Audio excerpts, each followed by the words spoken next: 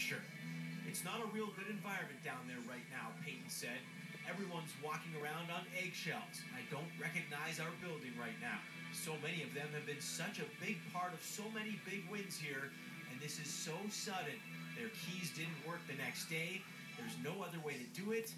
I don't know. That's hard to see all these people leaving, and I may be behind them. Who knows? You know, I don't think it's in a good interest, um, you know, to paint the horseshoe in a negative light. You know, uh, he's such a big part of that and, and everything else. And, uh, the horseshoe always comes first. And I think one thing that he's always known, because he's been around it so long, is you keep it in the family. You know, you, you keep it. Um, if you got a problem, you talk to each other. It's, it's not about campaigning or anything. Neither side is happy with the situation or even one another these days.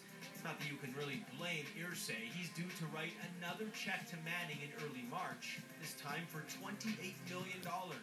Without knowing when or even if Peyton is going to risk playing again, remember, three neck surgeries, he could be one hit away from being carted off the field for good.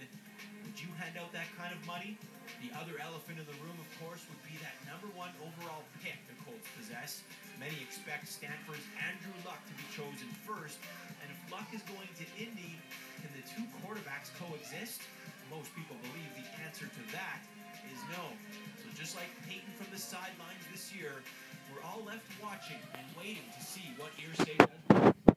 Don't be surprised if one of the greatest quarterbacks of all time is pushed out very city he single-handedly put back.